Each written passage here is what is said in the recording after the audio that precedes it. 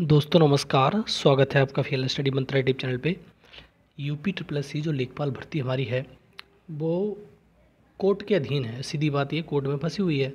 Stay हटने के बावजूद भी स्टे कंटिन्यू कर दिया गया है इलीगली तरीके से। सीधी बात ये है। अब देखो, हमारा जो मैटर लग रहा है, वो लग रहा है आठ जुलाई को। आठ जुलाई से पहले सारे मोर्चों पर, जितने भी मोर्चे हैं, हमारे पास में उसको सबको दुरुस्त कर लेना है, तंदुरुस्त कर लेना है, तभी हम आगे की मतलब कामयाबी पा पाएँगे। अब देखो, मैंने इस जो थंबनेल में लिखा है कि सरकार के सामने सब बोने हैं, ये हकीकत बात है। सरकार जो चाहेगी, वही होगा। और सरकार ने चाह लिया तो आठ तारीख को ही आपको नौकरी मिल जाएगी। उसके बहुत सारे रीजन्स हैं। रीज़न क्या है कि अगर एस आ गए तो उसके सामने, भाई सीधी बात है एसजीआई को उस टाइम पे जब उन्नीस तारीख को प्रेजेंट हुए थे तो उनको ये भी नहीं मालूम था कि जॉइनिंग हो गई है।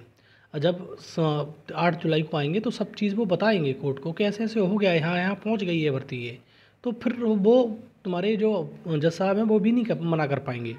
लेकिन क्या सिर्फ़ इसी के हिसाब से हो जाएगा कि क्या सिर्फ़ हमको सिर्फ़ और सिर्फ़ सरकार पे डाल देना चाहिए कि सरकार करेगी वो हो जाएगा? नहीं। ऐसा कभी नहीं करना होता है ठीक है?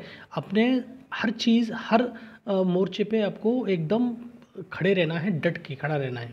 तो एक तो सरकार सरकार के लिए, मैंने कल भी बताया था, परसों भी बताया था, सरकार के लिए तो एक हमें काम करना ही है।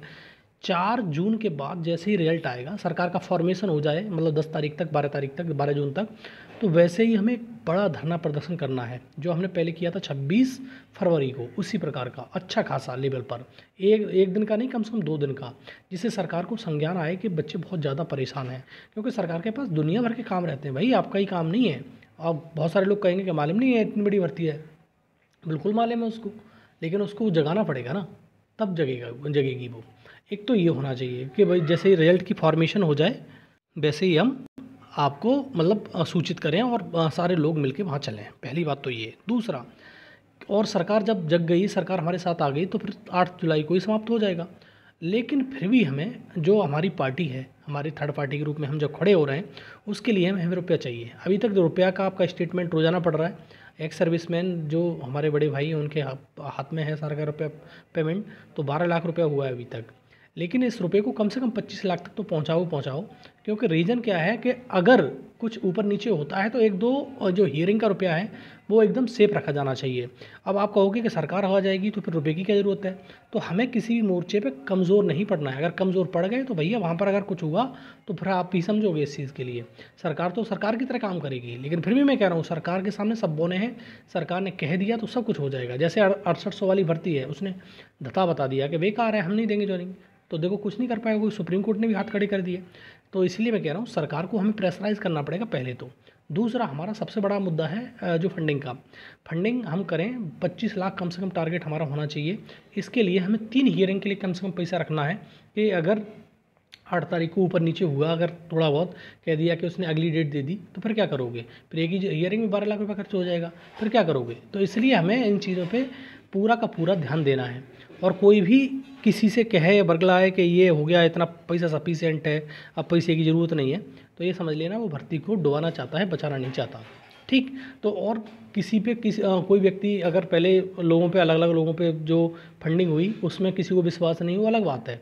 क्या किया, क्या नहीं किया, हमको नहीं मालूम। लेकिन हमको ये मालूम है कि जो ये जो तुम्हारे एक्स सर्विसमैन भाई है, वो बहुत अच्छे से इस पैसे को हैंडल कर रहे हैं। किसी को एक पैसा इधर से उधर नहीं होने देंगे। लेकिन आपको भी ये सोचना है।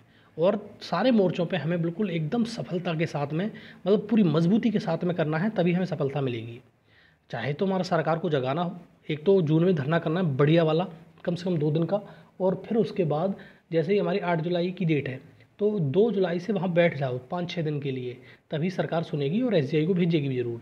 एस आएँगे तो फिर भैया सारे के सारे जितने भी वकील हम खड़े करेंगे, उनके सामने कुछ भी नहीं है। और लेकिन हमारा वकील बढ़िया से, अच्छे से अच्छा वकील जब ही खड़ा हो पाएगा, जब आप पैसे की फंडिंग करेंगे।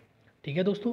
सरकार के सामने सब बोने हैं, फिर मैं कह रहा हूँ, सरकार जब तक साथ नहीं आएगी, तब तक हमारा केस पे डेट पे डेट मिलती रहेंगी। इसलिए हमको चार जून के बाद सरकार फॉर्मेशन होने दीजिए, बड़ा विशाल धरना करना है और सभी आठ हज़ार लोग जितने भी हैं, उन सभी को आने की कोशिश करनी है और आना ही है।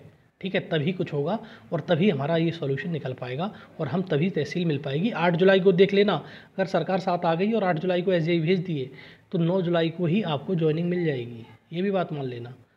बस आपको ये करना ही है और आपके जो दूसरा मोर्चा है, सबसे तगड़ा वो आपका अपना फंडिंग करना है और फंडिंग पच्चीस लाख तक पहुंचानी है, उसके बाद वो भी थर्ड पार्टी खड़ी होगी बहुत मजबूती के साथ। और ये फालतू का फैनिकगिरी छोड़ दीजिए कि भगवान जाने किसी के उसको करके मतलब कोई कहीं मिल आया और उसने कह दिया कि भाई ये हो जाएगा और वो हो जाएगा तो ऐसा कुछ नहीं होगा। दोस्तों, इस चीज़ का विश्वास मानिए कि ऐसा कुछ नहीं हो सकता जो आप सोच रहे हैं।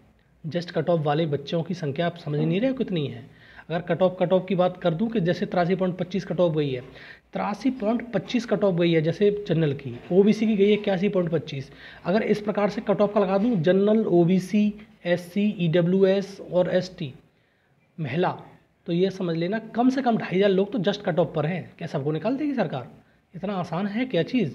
हलवा है तो बट रहा है, सबको दे देगी। इस प्रकार से नहीं होता भाई, समझ लो इस चीज़ के लिए। अगर पॉइंट पच्चीस और पॉइंट पचास की बात करूँ तो, तो फिर तो पाँच छः हज़ार बच्चे बैठ जाएँगे। फिर तो सबको निकालती फिरेगी ऐसे तो सरकार। इस प्रकार से नहीं होता है। विश्वास रखो इस चीज़ का। कुछ नहीं होगा। कोई किसी से कुछ भी कहे या सर सचिव ने कुछ भी कहा ऐसा होता नहीं है अमूमन। ठीक? तो आप इस चीज़ पे ध्यान रखो। विशेषकर आप फंडिंग करिए बढ़िया से। 25 लाख तक इसको पहुंचाइए कम से कम टारगेट को। तभी हम वकील खड़ा कर पाएँगे बढ़िया से बढ़िया। और दूसरा हमारा जो ये टारगेट है हमें सरकार को जगाना है सरकार को साथ लेना है। ठीक है साथियों? दो ही मोर्चे पे हमें बहुत अच्छे से काम करना है और जो जैसे ही रिज़ल्ट ख़त्म आएँगे इसके मतलब चार जून के बाद तो योगी महाराज से भी मिलना है बार बार दो चार बार मिलेंगे तो उनका कुछ ना कुछ आश्वासन मिलेगा तो फिर सब कुछ ठीक होता चला जाएगा। ठीक है दोस्तों? धन्यवाद।